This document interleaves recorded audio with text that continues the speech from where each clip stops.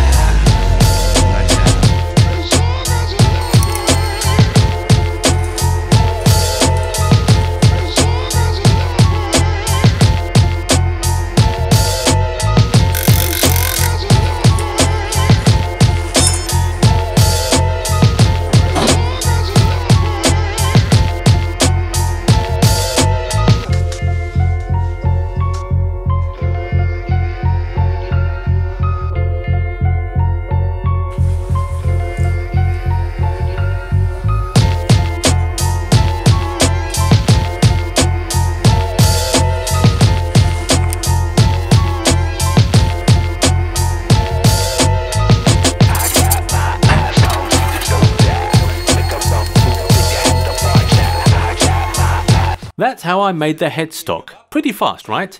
Now, let me quickly break down this design for you. Here you can see an 80 by 40 mm shaped pipe. The walls are 3 mm thick. I placed a water pipe at the top. Its internal diameter is 50 mm. The internal diameter of the bearings is 20 mm. The external one is 47 mm. There is a stud 20 mm in diameter. Here you can see a pulley. I used a nut to make the pulley perfectly fit the stud. I ground it a bit and then welded the entire structure together. This way I made such a rigid and integral structure. Now I'm going to grasp a hold of a tailstock.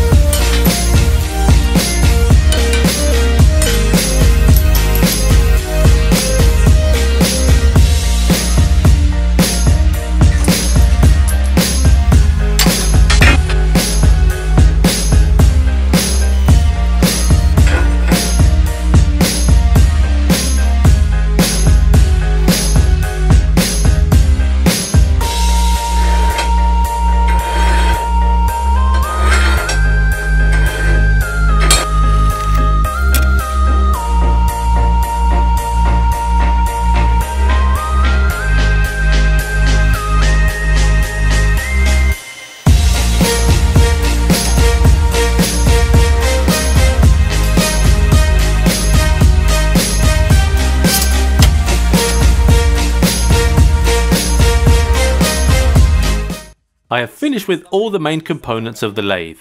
Now, I just need to mount the engine and deal with the electronics. Let me tell something to you in the meantime, and then I will go on with the job. I'll tell you a bit about the tailstock. The base is made of 12mm thick sheet. Here you see an 80 by 40mm shaped pipe and a water pipe with a diameter of 40mm. I inserted two nuts in there and then welded their edges to the pipe on both sides. There is an offset shaft at the bottom. You see, I lifted the handle and then fixed it back. I like this mechanism. Let me explain to you how this locking stop works. When I release the shaft, it causes this kind of offset. I lower it down, move here. Everything is clamped instantly. This offset shaft works as follows.